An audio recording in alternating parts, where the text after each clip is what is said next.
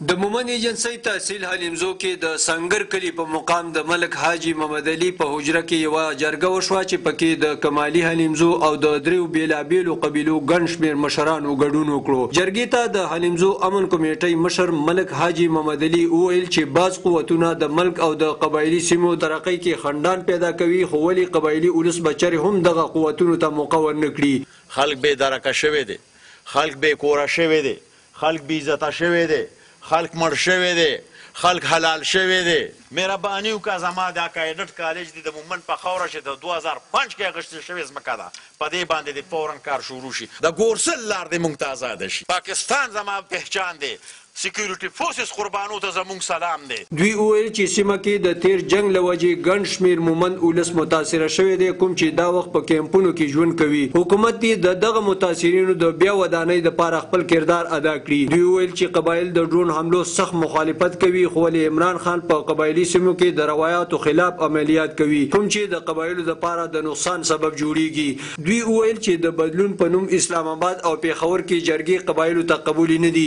جرګې ته یو شمېر نورو مشرانو هم ویناګانې وکړې او د سیمې د امن، ترقۍ او خوشحالۍ لپاره دعا هم وکړی شوه. ګل محمد مومند، خیبر نیوز، محمد ایجنسي.